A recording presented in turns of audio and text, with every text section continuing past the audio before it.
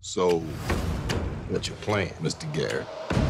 How would you like to buy a bank? What the hell do we know about banking? Owning a bank is like owning the other side of the real estate business. There's a few complexities you just left out. Like what? Oh, I'm sorry. Did I not wake up black this morning? Because I'm pretty sure I did. Yep, still black. Yeah, me again. Oh, I, you know, after seeing something like Hidden Figures, I assume this was kind of story.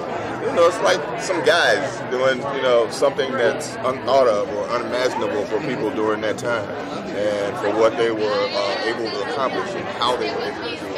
Uh, to present yourself in one way and really be about something else. To be uh, smart, savvy, and courageous. You know, another way. Good seeing you. Good seeing you too, man. before you got involved with this, had you ever heard about this before? It's one of those stories that, you know, just no, never really came up to the top. I had never heard of it. Uh, it wasn't something I knew about. Uh, it was actually brought to me. We were on the top of 30 Rock 11 years ago shooting Adjustment Bureau, and Nolfi's uh, editing partner, Joel, came up and told me the story. And um, it, it, ever since then, I would literally call him every two months and ask him when we were going to start shooting.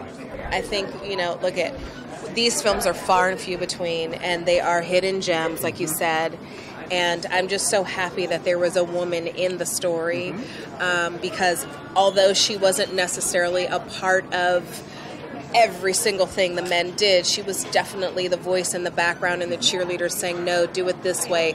We can do this. Because in her mind, she was able to visualize that, that, that they were actually on the precipice of huge change within the community and that we were entering a movement where black people were free and, and, and boisterous and, and fearless. FBI, you're under arrest. A black man tries to bring other brothers up. That's intolerant.